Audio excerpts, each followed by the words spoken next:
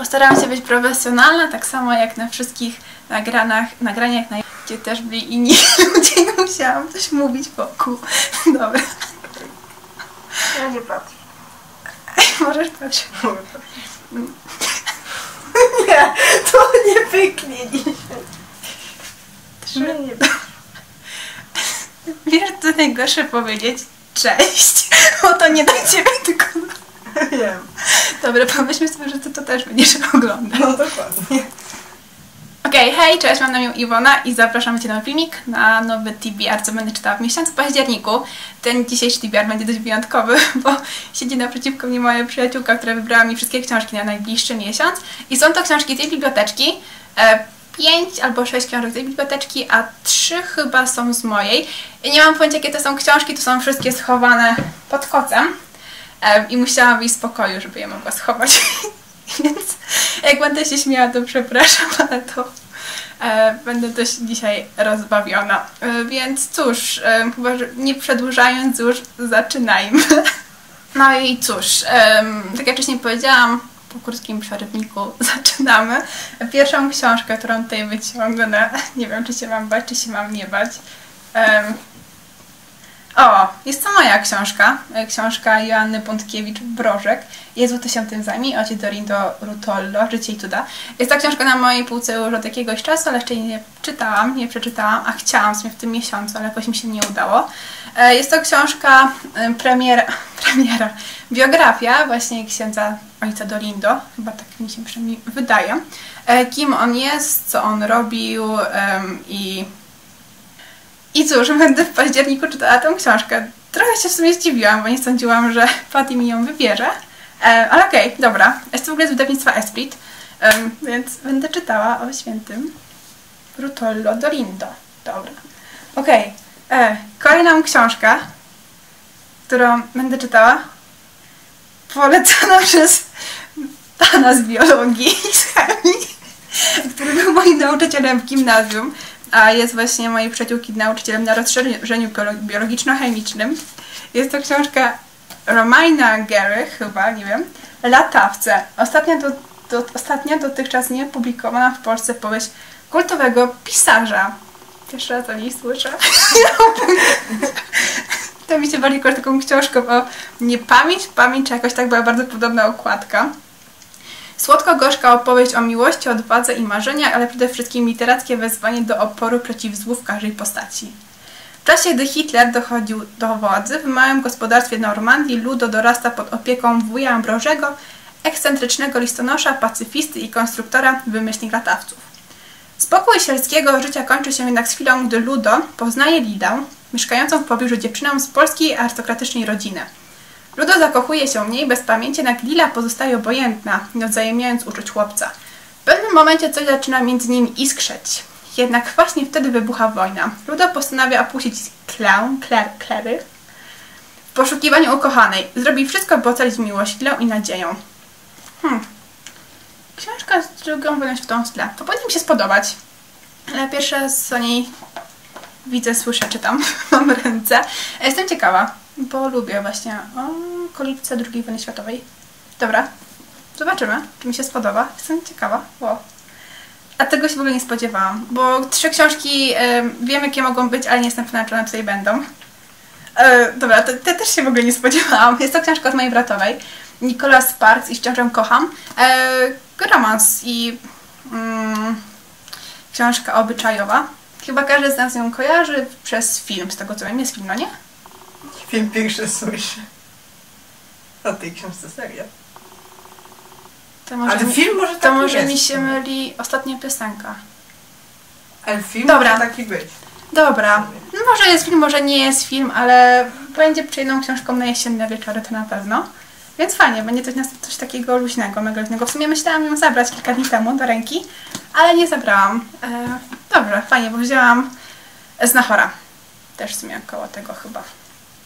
Kolejna książka to jest Przeczytaj jak być dobrym psychologiem i w ogóle książka ekstra. E, John Frederickson Kłamstwa, którymi żyjemy. Jak zmierzyć się z prawdą, zaakceptować siebie i zmienić swoje życie. Chyba widziałam ją kiedyś na internecie, chyba, ale też nie spodziewałam, że ją tutaj Patrycja wybierze. E, Czy do gabinetu psychoterapeuty zaglądamy dlatego, że dojrzeliśmy do głębokiej zmiany, czy raczej pragniemy, bo osoba postronna utwierdziła nas w kłamstwach, którymi karmimy się od lat?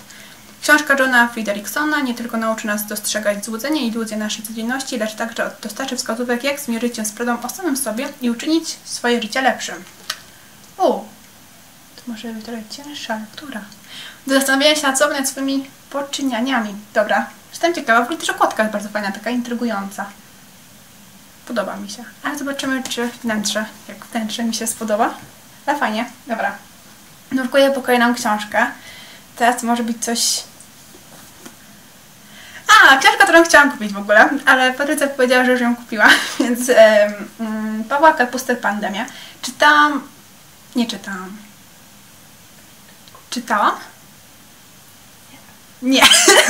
Ona sobie podkłada, że nie czytałam, że będę dopiero czytać pewnie tutaj kolejną. Bo nie jest to... E, reporterzysta, jest to dziennikarz, właśnie Paweł Kapusta i on dostał jakąś nagrodę, o, nowa książka autora bestsellerów Gad i Agonia. Agonię wiem, że Patrycja ma, pewnie mi ją tutaj dała, to właśnie kiwa głową, tego się spodziewałam, że tą książkę mi da. Finalista Grand Prix Nagrody imienia Ryszarda Kapuścińskiego, laureata Nagrody imienia Teresy Torańskiej. E, Jest to książka mm, teraz, najnowsza, wyszła chyba miesiąc temu, o pandemii w Polsce, jak to wyglądało na e, pierwszych liniach frontu, walka z nim i u normalnych ludzi, z tego co wiem, z tego co czytałem jakąś tam z tyłu opis, e, po prostu jak wygląd- wyglądała pandemia w Polsce. Jestem ciekawa, mm, reportaż, reportaże. E, więc jestem ciekawa po prostu. Dobra, czyli teraz pewnie wyciągnę Agonię. tak, dokładnie. Teraz jest Agonia, czyli również tego samego autora. To jest chyba pierwsza albo druga książka pana Pawła Kapusty. Em, reportaż medyczna. Mm, Zobaczymy, czy mi się spodoba, czy nie. Wcześniej czytałam jeden reportaż medyczny i był fajny. Lekarze i pacjenci w stanie krytycznym.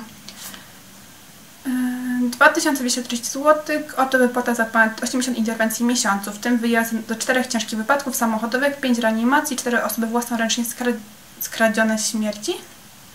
Rachunek za ludzkie życie opiewa w Polsce na 14 zł netto za godzinę. No, będę czytała coś, co może wam wstrząsnąć. I mam tutaj jeszcze dwie książki.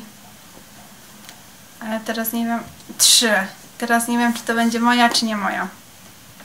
E, trzy kroki od siebie, tak? Tak, to nawet nie widziałam. E, właśnie pisałam tym do Patrycji, że chciałabym ją przeczytać, bo w sumie też jest na tej liście 100 książek, które chcę przeczytać. O! Naklejka z mojej byłej pracy. Widać, że Patrycja dawno zaczęła ją czytać jeszcze nie skończyła. Jest to literatura obyczajowa, też właśnie w zakresie medycznym. W szpitalu jest dziewczyna, do której nikt się nie może zbliżać, bo źle reaguje na zarazki i to może ją zabić. Z tego co pamiętam. Jest też film, film oglądałam, podobał mi się, z tego co pamiętam to mi się podobał. Mm, I cóż, też będzie coś bardziej przyjemniejszego. Dobra, kolejną książką, którą tutaj mam. Jak mniej myśleć? Książka, którą e, Patrycja dostała do mnie na urodziny. Dla analizujących bez końca i wysoko wrażliwych. E, Patty się ta książka podobała. Jestem ciekawa, czy ja ją przeczytam w tym miesiącu. E, Bo tutaj ta książka też jest z pogranicza psychologii. I czy tym radę dwie książki takiej przeczytać? Em, ale fajnie, mm, bo w sumie też czasem za dużo myślę i to mi się przyda. Em, moi bliscy mówią, że jestem zakręcona i że zadaję sobie dużo pytań. W mojej głowie stale coś się kłębi, czasem marzę o tym, żeby wcisnąć, wcisnąć wyłącznik umysłu. Fajnie, poczytam sobie, e, jak to zrobić, żeby mniej myśleć. Spoko. To w sumie tej książki, o tej książce się nie spodziewałam. I to jest jeszcze jedna książka, którą mam. Em, to jest moja książka. Ojejciu. Ojej. 100 lat samotności. Gabriel Garcia Marquez. Em, moja siostra tę książkę czytała i powiedziała, że jest... em, nie do końca się jej podoba. Em, znaczy nie czyta, ale zaczęła czytać i nie mogła przed nią przebrnąć. Jest to książka mm, o pewnej rodzinie, gdzie jest kazirodztwo i chodzi ogólnie o motyw ten, że jeżeli jakieś plemię zostaje na 100 lat samo, to później ono nie będzie już normalnie w stanie funkcjonować. Po prostu to kazirodztwo będzie w ich krwi i nie będzie w stanie tak jak gdyby żyć dalej. E, Okej, dobra, widzę, że mam dość ciężkie lektury na ten październik. W sumie dwie takie lżejsze, trzy lżejsze. Ale ło, to się zdziwiłam, bo nie sądziłam, że to, to będzie wybrana ta książka tutaj e, z tych wszystkich. I w ogóle muszę powiedzieć, że moja siostra powiedziała, że to wydanie jest kiepskie, że się rozwala. Mm, Jest ładne na półce, wygląda bardzo ładnie, ale że się rozwala. Okej, to zobaczymy, czy przeczytam. W ogóle to są wszystkie książki, które mam na październik. Jest 2, 4, 6, 8, 9 książek. Może uda mi się przeczytać, przeczytać je wszystkie, może nie, zobaczymy, bo różnie to z tymi TBR-ami jest. Ja jestem podekscytowana, postaram się je przeczytać, bo w sumie tak zaszokowały mnie niektóre tej pozycje. Em, I cóż, em, chyba tyle. Jak takie TBR-y Wam się podobają, to tam Patty może coś jeszcze wymyśli na kolejny raz, kiedyś tam w przyszłości.